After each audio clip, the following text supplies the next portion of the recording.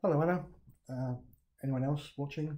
Um, thank you for giving me the opportunity to uh, talk to you about this. I think this is a inspirational um, idea. I think it's uh, that's proven to be very helpful. I think it will give people all the comfort they are not alone. Um, I'm my name's Phil. I'm 61, retired IT project manager from Berkshire. Um, you asked what we thought about the media. Um, yeah, I haven't followed mainstream media for a very long time.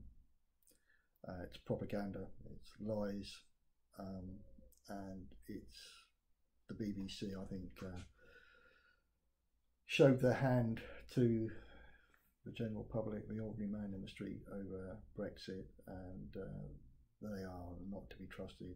Uh, neither is Sky. Um, I get all of my news now, um, well, predominantly from alternative sources. So no, don't trust it. Um, COVID has done nothing other than reinforce my view that it's propaganda and lies and deceit. Um, COVID, yeah. Um, this isn't about a virus. I think many of my fellow contributors have alluded to various agendas. Agenda 21, that's part of it. It's all moving. Agenda 21 in itself is a stepping stone to where the elites, the 1%, want to be. Um, I won't go into oodles of detail, but I think we all know who they are. Uh, the people that run the central banks um, own all of the media assets, the films, and most of the politicians, it appears. Yes, they seem to hold all the aces. It is true. If you want to know more, my personal favourite source of much of that information is Michael Black, the ex British Army military uh, intelligence officer. On a personal view, we knew it wasn't about the virus for the simple facts, and I'll allude to them now. They downgraded it from an HCID, high consequence infectious disease, yet still locked down. Ferguson's, um, where do I start? Figures, projections, hopelessly, hopelessly uh, overstated. The man has never got any projection right in his uh, career, it seems, and some thousands of percent um, overstated. His programming skills torn to shreds. Still, the lockdown continued. They carried on with the death rate, manipulating, massaging the figures. Still, the lockdown continued. Andrew Mather, amongst many others, uh, Peerless Reads, did some excellent analysis proving the contagions are Uh, a normal or log normal distribution, and ours, as is many around the world, been peaked, gone, essentially over. Any change? Did the lockdown restrictions get lifted? No, they just doubled down, introduced mandatory mask wearing all over the place quarantine restrictions, etc., etc. So clearly is not about the virus. Hydroxychloroquine, proven to work if used in the right concentrations with the right other ingredients, zinc and so forth. Rubbished. The so-called tests that they did, sabotaged. The PCR tests, again, absolutely torn to shreds, not designed to do that, don't work, all they do is pick up antibodies from many coronaviruses that have been and gone. Doesn't pick up fact that you've got the live uh, disease. So it's not about the virus. My own um, experience, um, yeah, uh, I was I've been shocked. To be honest, I knew what agendas were being played out, the climate change and this one and, and all the rest of it. But this caught me by surprise, I have to say. Didn't think they'd do it quite in this way. And you have to give the devil his due. They're playing a blinder. You know, they've had a long time to think about it. But yeah, I didn't see this one. This came at me from the outfield, you know, completely took me by surprise. But it became very apparent um, that that's what it was. Um, honestly saying, you know, I it's depressed me, and I've managed to depress my wife and drag her down, uh, talking about it because if they win, what they've got planned for us and the rest of humanity is very dark. And I don't mind admitting we we even talked about well if it gets that bad, wouldn't it be best just to end it? I don't want to live in that dystopian state.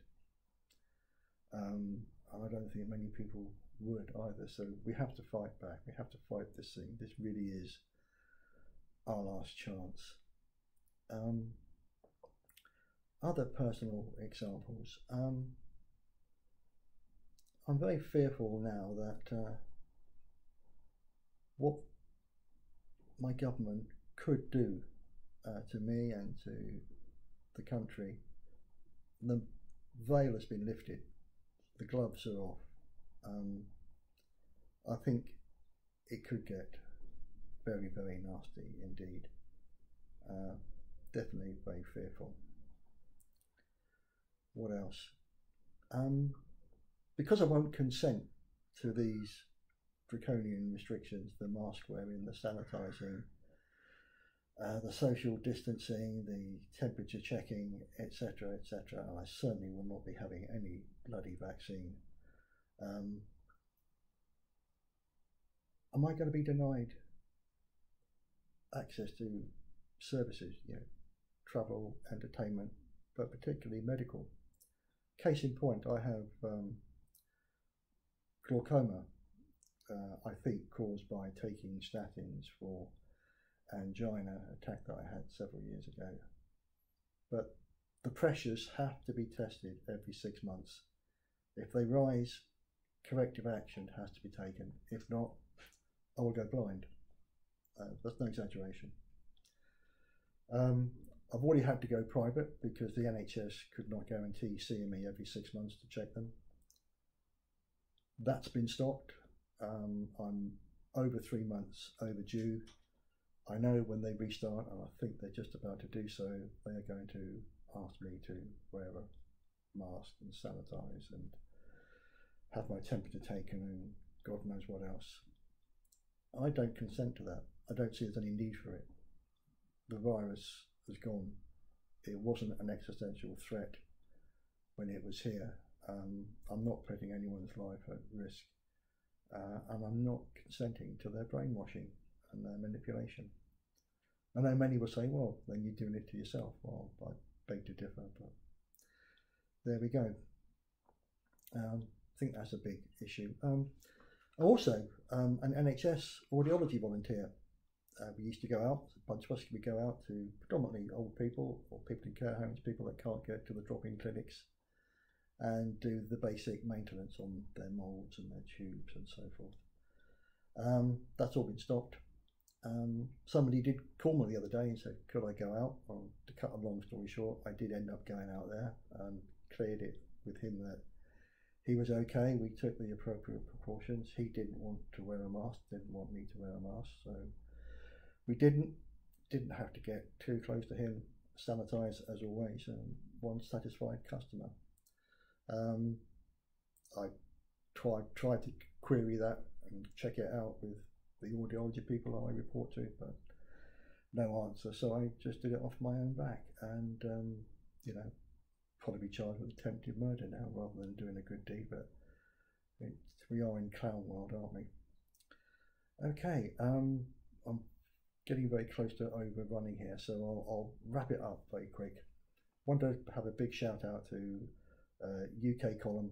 Michael Black, I've already said, amazing Polly, Dr. Vernon Coleman, um, uh, Politico. There are many, many others out there, and I'd like to leave on a happy note, if I may, and check out. Um, I think his name's Andrew Lawrence, and uh, the comedian, and one of his characters. Hope I got this right. Sergeant, Constable, Officer, Detective, Peter Pisspot of Twat Valley Police. And on that note, it's evening all, or good night from me, and good night from him. Good night.